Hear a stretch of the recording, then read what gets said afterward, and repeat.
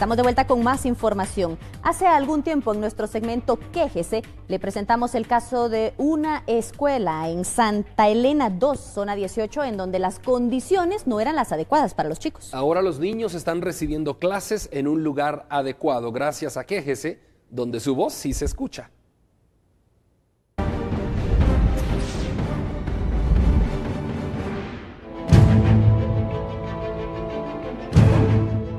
El 6 de septiembre del 2015, en el segmento Quéjese, expusimos algunos daños que presentaban dos aulas de la Escuela Santa Elena 2, zona 18, un socavamiento en el patio central.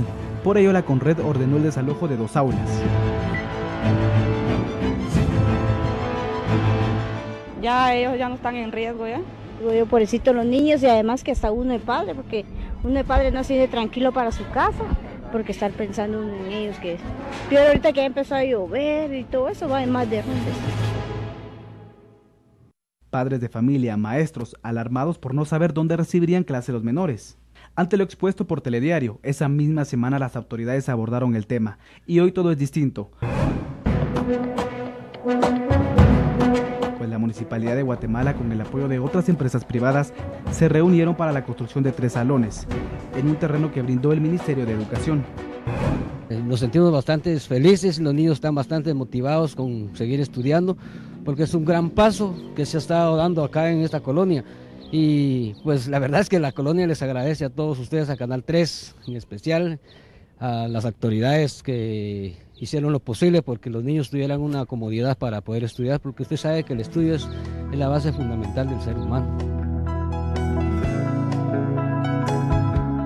La sede del nuevo centro educativo cuenta con pupitres nuevos, malla perimetral, banquetas, baños y seguridad.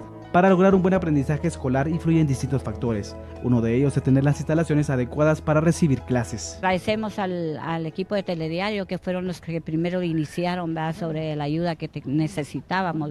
Ustedes se dieron cuenta del peligro con que estaban los niños en, el, en la escuelita, en la casa ¿va? que estábamos habitando. Ahora los niños de la colonia Santa Elena 2 en la zona 18 tienen un lugar apropiado donde recibir clases. Y usted marque la línea contra la impunidad 24 10 32 00 y quéjese. quéjese.